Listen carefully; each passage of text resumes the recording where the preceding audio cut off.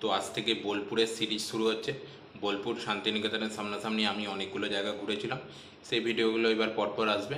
তো চলো, আজকে ফার্স্ট ভিডিওটা আসছে। তো দেখে নিন ফার্স্ট ভিডিওটা। আর ভিডিওটা ভালো লাগলে অতি অবশ্যই লাইক কমেন্ট অ্যান্ড শেয়ার করে দেবেন। আমার চ্যানেলে নতুন হলে চ্যানেলটিকে অতি অবশ্যই সাবস্ক্রাইব করে দেবেন। তো চলো। এখন আমি বেরিয়ে পড়েছি।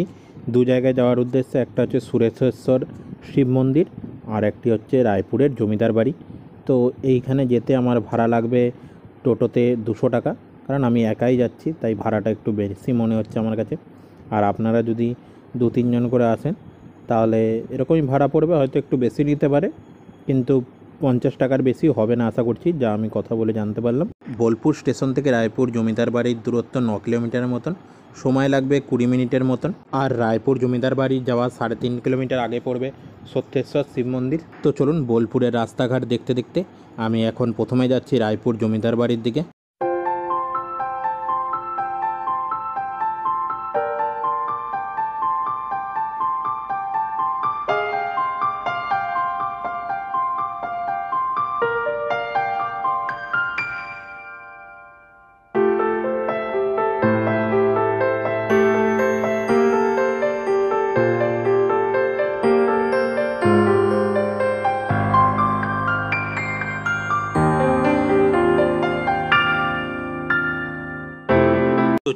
আমি চলে এসেছি রায়পুর জমিদার বাড়ির আগের দিকে।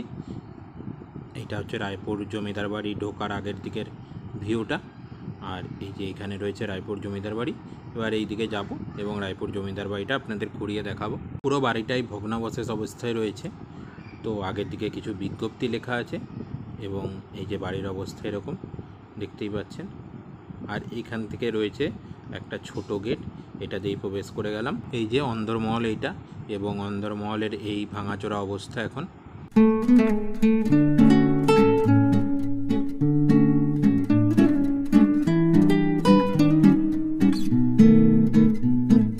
হ্যালো বন্ধুরা, আমি এখন আছি রায়পুর জমিদার বাড়িতে এবং এটা ঘুরছি।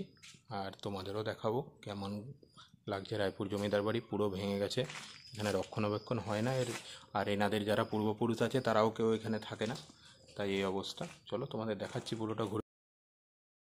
চলুন রায়পুর জমিদার বাড়ি ঘুরতে ঘুরতে আপনাদের এই জমিদার বাড়ির সম্পর্কে কিছু তথ্য দিয়ে দিই। অজয় নদীর পাড়ে রয়েছে এই রায়পুর গ্রাম এবং এইখানে গড়ে উঠেছিল সিনহা বাড়ির জমিদারি। একশো কুড়িটি কক্ষ বিশিষ্ট। কুড়ি একর জমি জুড়ে রয়েছে এই জমিদার বাড়ি। পনেরোশো শতকের দিকে সিনহা পরিবার অযোধ্যা থেকে রায়পুর চলে আসেন এবং সময়ের সাথে সাথে তাদের ব্যবসায়িক দক্ষতার ফলে তারা এই অঞ্চলের একটি গুরুত্বপূর্ণ পরিবারে পরিণত হয়, যার ফলে তারা রায়পুরের জমিদার হয়। একসময় বীরভূম ও আশেপাশের অধিকাংশ এলাকা সিনহা পরিবারের অন্তর্গত ছিল। মহশ্রী দেবেন্দ্রনাথ ঠাকুর যখন একটি ছাতিমতক গাছের নিচে বসে ধ্যান করতে থাকেন এবং অতুলনীয় শান্তি আবিষ্কার করেন তখন তিনি অলৌকিক গাছটির চারপাশে জমি কেনার সিদ্ধান্ত নেন। গুজব রয়েছে যে মহশ্রী দেবেন্দ্রনাথ ঠাকুর তৎকালীন জমিদার ভুবনমোহন সিনহার কাছ থেকে এক টাকার বিনিময়ে এই জমিটি কিনে নেন এবং এইখানেই তৈরি করেন শান্তিনিকেতন নামে একটি গেস্ট হাউস, যা এখন বিশ্ববিদ্যালয় শহর নামে পরিচিত লাভ করেছে। এই ছিল জমিদার বাড়ির ইতিহাস, আর উনিশশো একান্ন সালে জমিদার প্রথা বিলুপ্ত হওয়ার পর সিনহা পরিবার বিভিন্ন স্থানে স্থানান্তরিত হয়ে যায়। যার ফলে এই বিশাল সম্পত্তির রক্ষণাবেক্ষণ প্রায় অসম্ভব কাজ হয়ে যায় এবং উনিশশো সত্তর খ্রিস্টাব্দে রায়পুরের এই জমিদার বাড়ি পরিত্যক্ত বলে বিবেচিত হয়। স্থানীয়রা বলেন, প্রাসাদে বসবাসকারী সিনহা পরিবারের শেষ সদস্য সমস্ত সেগুন, বিম সরিয়ে বিক্রি করে ফেলেন এবং তখন থেকেই বাড়িটি বসবাসের জন্য আরও অযোগ্য হয়ে যায়। তারপরে অনেক সময় স্থানীয়দের দ্বারা এবং চোরদের দ্বারা এই জায়গাটাই ছিনতাই হয়েছে এবং রায়পুর জমিদার বাড়িও বাংলার শত শত জমিদার বাড়ির মধ্যে একটি জমিদার বাড়িতে পরিণত হয় যা রক্ষণাবেক্ষণের অভাবে এই অবস্থায় পরিণত হয়েছে। যা আপনাদের কাছে এতক্ষণ তুলে ধরলাম। আর এই জায়গাটা যে দেখতে পাচ্ছেন ভালো অবস্থায় রয়েছে। এইটা হলো দুর্গা মণ্ডপ। এখানে প্রত্যেক বছর দুর্গাপুজো হয়। এবং এই জমিদার বাড়ির পাশেই রয়েছে ভাঙা জমিদার বাড়ির অন্দরমহল যা আপনাদের এতক্ষণ দেখালাম। আর দুর্গা মণ্ডপ হলো এইটি যা আপনারা আগের দিকে দেখতে পাচ্ছেন। এবং এই দুর্গমণ্ডপ দুর্গাপুজোর সময় খোলা থাকে এবং এখানে গ্রামবাসীরা ধুমধাম করে দুর্গাপুজোতে মেতে ওঠেন। চলুন রায়পুর জমিদার বাড়ি থেকে চলে এসেছি সুরেশ্বর শিব মন্দিরে। এবার মন্দিরটা আপনাদের ভালো করে ঘুরিয়ে দেখাচ্ছি। এবং এই মন্দিরটা এই রায়পুর জমিদার বাড়ি যাওয়ার রাস্তায় পড়বে এবং খুব সুন্দর জায়গা, এসেই খুব ভালো লাগল এখানে। তো চলুন, এবার পুরো মন্দিরটা আপনাদের ঘুরিয়ে দেখাচ্ছি।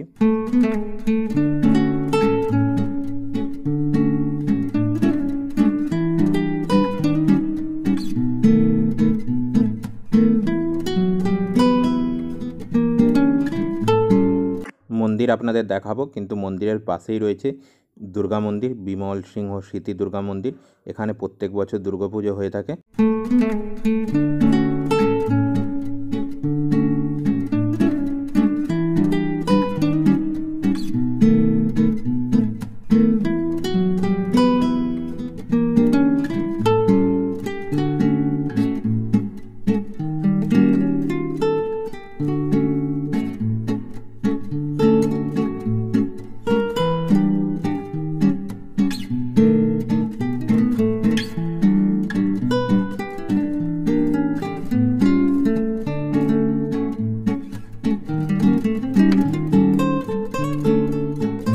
প্রধান মন্দিরের গায়ে এরকম পেন্টিং আঁকা আছে। এখানে যেই পেন্টিংটা আছে, এটা হচ্ছে সমুদ্র মন্থনের পেন্টিং এরকম অনেক পেন্টিং আঁকা আছে। আপনাদের দেখাচ্ছি, চলুন।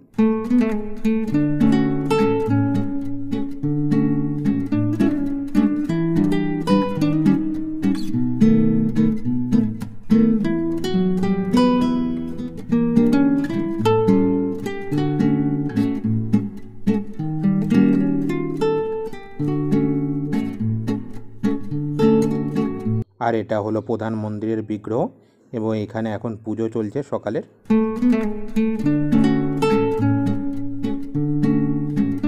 এখন আমি মন্দিরের পিছন দিকে চলে এসেছি আর এখানে রয়েছে বৃন্দাবন কর মহাশয় যিনি এই মন্দিরটি তৈরি করেছিলেন। প্রধান সাধু বাবা ছিলেন, তার সমাধিস্থল আর এটা মন্দিরের পিছন দিকের ভিউ এবং মন্দিরের পাশেই রয়েছে এক বিশাল তেঁতুল গাছ।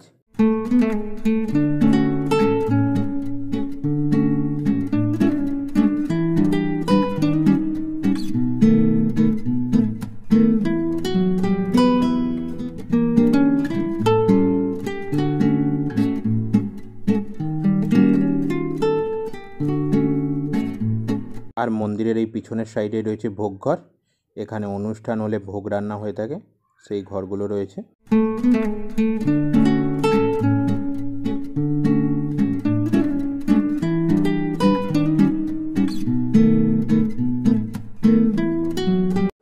এটা বোলপুর থেকে একটু আউটসাইড তাই এখানে ভিড়ভাড়টা তেমন একটা নেই।